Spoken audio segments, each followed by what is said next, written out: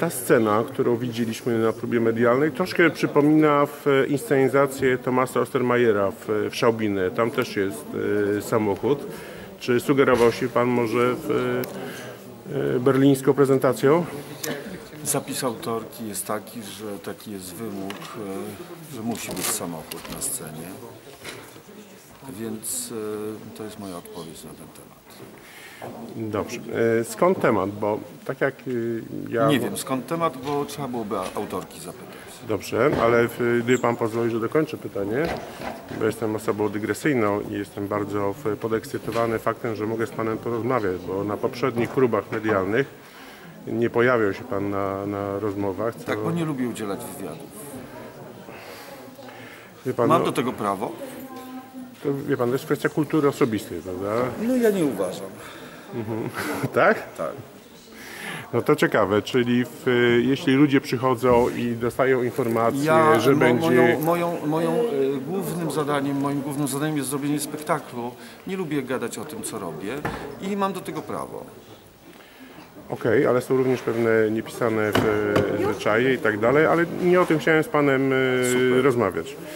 E, To jest tak zwana konfekcyjna tragikomedia. Ja Traktuje- nie wiem, e, to znaczy wie pan, znaczy ja uważam, że to co pan mówi w tej chwili, nie wiem na jakiej podstawie pan takie, takie stwierdzenie wysuwa tutaj. Konfekcyjna, co? Tragikomedia, konfekcyjna. A co to jest? E, Ja tego ale- nie rozumiem Ale któ- które słowo w, mam e, Wszystko wyjaśnić? razem do kupy, konfekcyjna tragikomedia, ja tego nie rozumiem. Nie wiem o co panu chodzi. Dobrze, rzecz rozgrywa się w, w tak zwanych e, wyższych sfer, e, sferach wysokiej burżuazji, A co to znaczy?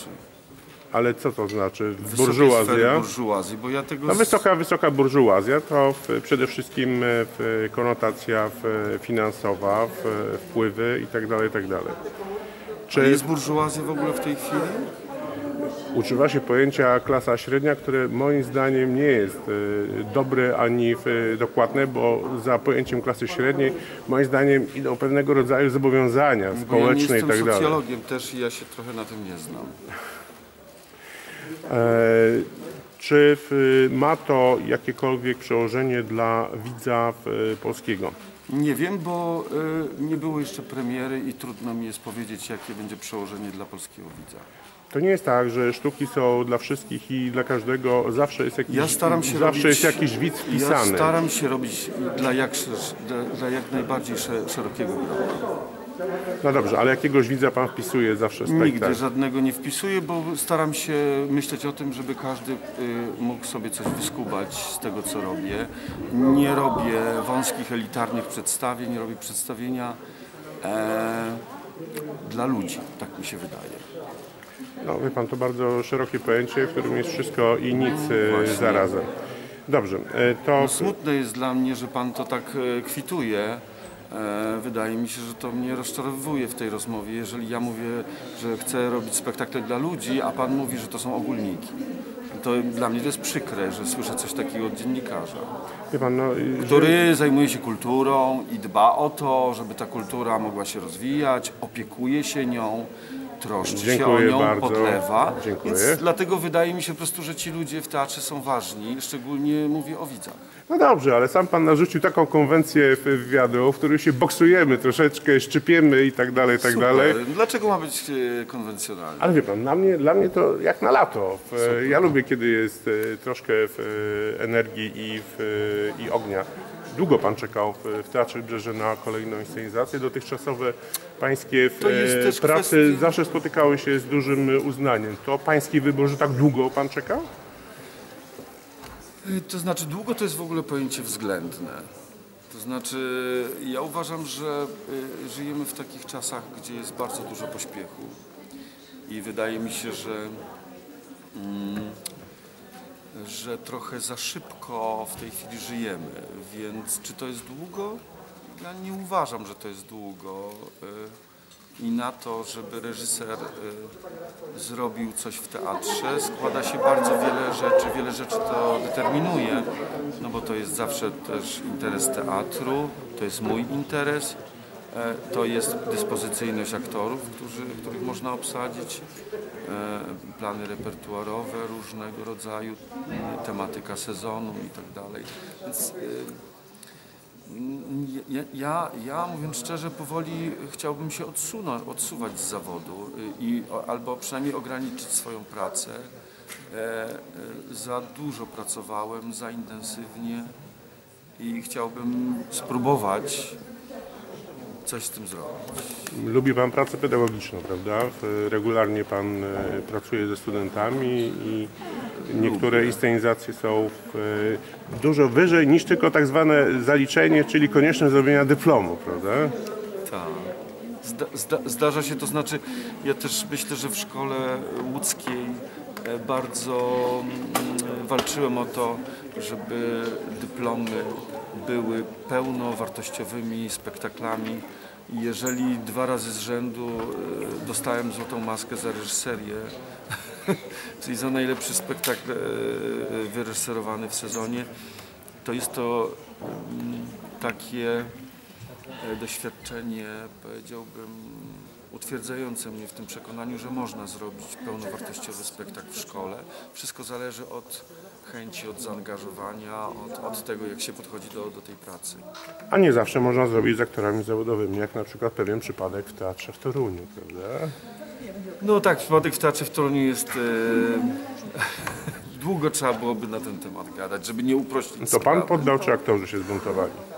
No to jest myślę, że to, że, że doszliśmy do, do jakiegoś, jakby to powiedzieć, kresu.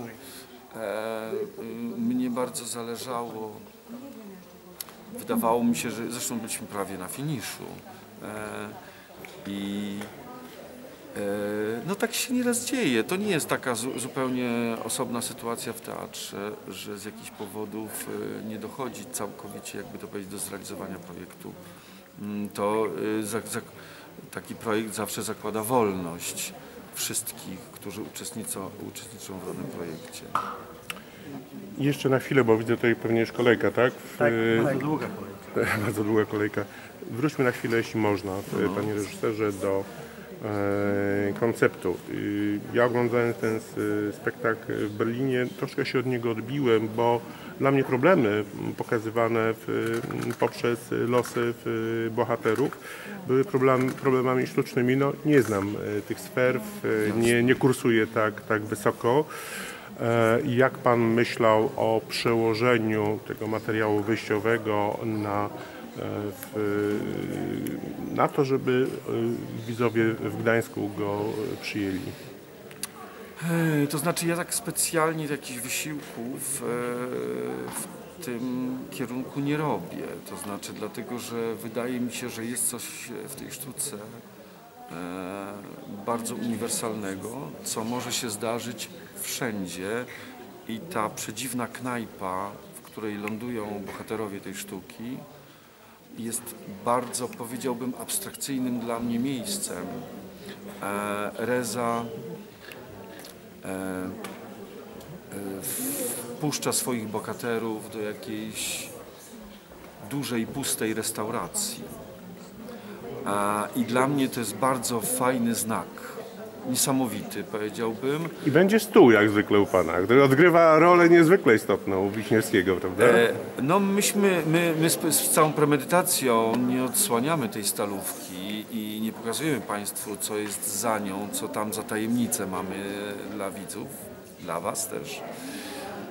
E, Natomiast, natomiast no, wydaje mi się, że starałem się maksymalnie e, e, uwolnić w tym tekście wszystko, co jest, mm, co nie jest rodzajowe, co nie jest związane z bardzo konkretnym miejscem. Nie, nie szukam tutaj jakichś takich polskich jakichś kontekstów, bo wydaje mi się, że ta sztuka się do tego nie nadaje. Poza tym ja też nie jestem specjalistą chyba od e, takich silnie zaangażowanych rzeczy społecznie. E, Zawsze jakoś tak lubię subtelnie o tym opowiadać, nie jakoś przez publicystykę. Więc e, e, ja, ja chciałem, żeby ten tekst wybrzmiał w takim planie egzystencji, w takim planie ludzkim, bardziej niż w planie jakichś takich e, e, pytań e, odnośnie klas społecznych, narodowości itd. itd. Bardzo dziękuję i bardzo chciałem się z Panem umówić kiedyś na długą rozmowę, zachowując pewnego rodzaju ogień, który był na początku. Super, ja tak? jestem w tej chwili bardzo skłonny do boksu, więc... e, Dobra, to ja więc- załatwię rękawice i, i, i mapę. Super. Myślę, że możemy się kiedyś przy okazji poboksować. Dziękuję bardzo. Dziękuję.